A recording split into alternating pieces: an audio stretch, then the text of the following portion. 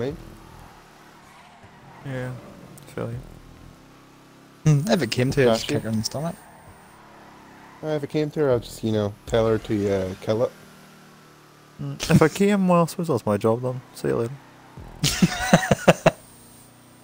This race is not fun.